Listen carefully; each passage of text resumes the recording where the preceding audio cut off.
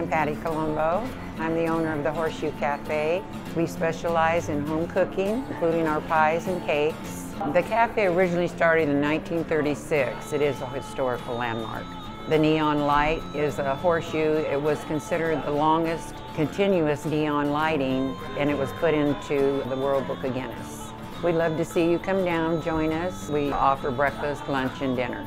And hope you come in soon.